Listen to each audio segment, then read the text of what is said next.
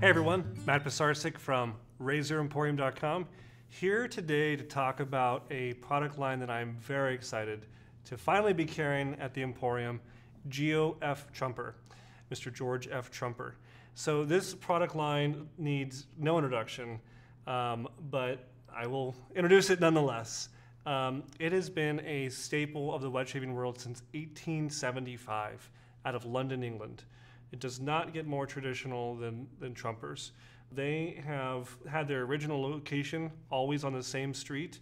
And they now have a second location on St. James Street.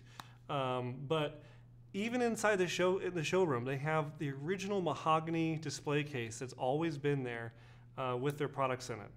And I think this entire line kind of exudes tradition.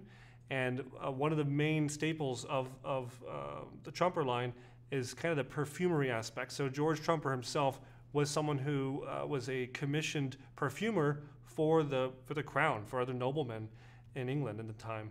And if you smell these products, you can definitely understand why perfumery has everything to do with this shaving soap line because you open up the container of Trumpers and it just fills the room. And the, the scents that come out of these are so authentic and so vibrant and rich and, and real. Like this one here, this is a sandalwood. And I have smelled so many sandalwoods over the years, but this is, is just heavenly. Um, and, you know, the, the, quality of these products is unreal. And the packaging, you look at the way it's packaged, it still has this old timey kind of look, like it's never been changed. Um, so much so that even even kind of the old Victorian practice of using, you know, these kind of these pastel colors is still being used.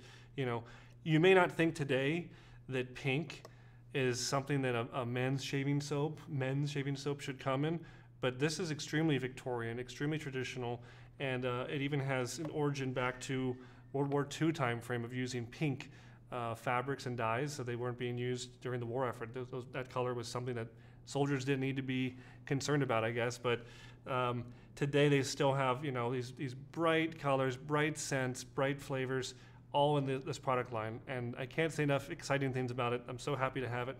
And now I'm gonna be showing you how it lathers up, and to kind of speak to the quality.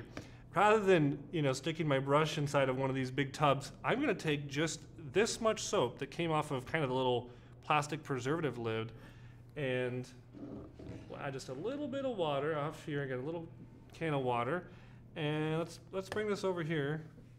I'll show you guys that you don't need much at all. Anytime someone tells me they can't make a lather or there's not enough, you know, they, they, they can't figure it out, you only need something like that.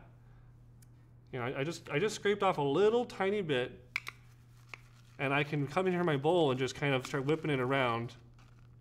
And I have a completely dry face. If I put even just a dab of water on my skin and take this and see how easily this is whipping up a lather. Now this is the GFT scent. And in seconds, it's been what, five or 10 seconds? I have got a rich, creamy lather. If I kept on going at this, I could get that Santa Claus Cool Whip lather completely. And there's still enough. I mean, I could do a two or three pass shave if needed with that amount of product. So a tub of this size, you can see how much product is inside one of these.